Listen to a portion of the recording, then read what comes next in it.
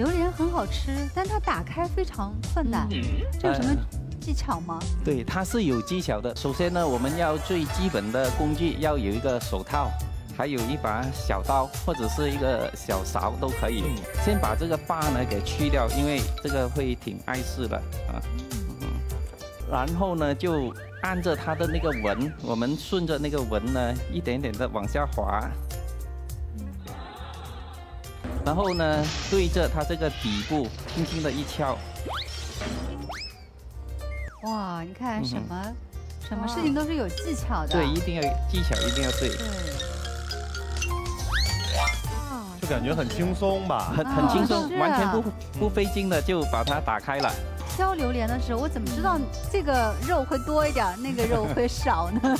通常呢，我们在马来西亚第一个步骤，我们把它拿起来，先摇一摇，摇一摇，你可以听到一个很轻微的那个果肉晃晃动的那个声音。啊。第二个步骤呢，就是它最底底部这个呢，因为它是最薄的，它的壳最薄的，我们闻一闻。可以闻得到这个到底是甜的，还是有苦味的？哦啊，所以这个都是要有一一定的这个这个经验。所以首先一定要有声音，对，一定要有声音啊。我们要吃那个榴莲是稍微干干一点的，它太湿的话，那个榴莲是味道就没那么好。我们请呃主持人和大使尝一尝。真的是人生第一次近距离接触榴莲，一起过来吧。接下来我们也迫不及待了，来吧。感谢苏青老师刚才鼓励了我，要不然我真的不敢尝。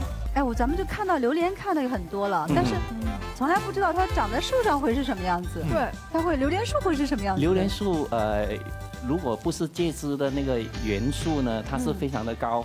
可能大概有三十米那么高，熟透了从树上掉下来的。那掉下来呢，它虽然三十米这么高，但是它也不会坏。所以榴莲是非常结实的。那榴莲树，您说它能长到三十米的高，那它能长多少年呢？呃，正常的话呢，五年它开花结果，但是要真正好的榴莲呢，它要十年的树树龄，它的榴莲才好。那一般如果我们有照顾好的呢，呃。可以生长到五十到一百年。那整个一棵树，在它的生长周期，它能够有长到多少颗榴莲呢？呃，这个也是因人而异，或者是因那个果因素而因素而异。呃，马来西亚的榴莲呢，我们都是要很细心的照顾，就像照顾自己的小孩一一模一样。这个树如果是照顾的好的话，它不生病，不有其他的一些问题的话，那嗯，一年。有一一个季节，一棵树呢，通常可以长到两百个果。哇，那么就就像这个果有两百个，这个是照顾的比较好的。那当然，如果是你照顾不好的话，啊，可能就几十个。好，谢谢，我们再次谢谢我们的专家老师啊，谢谢。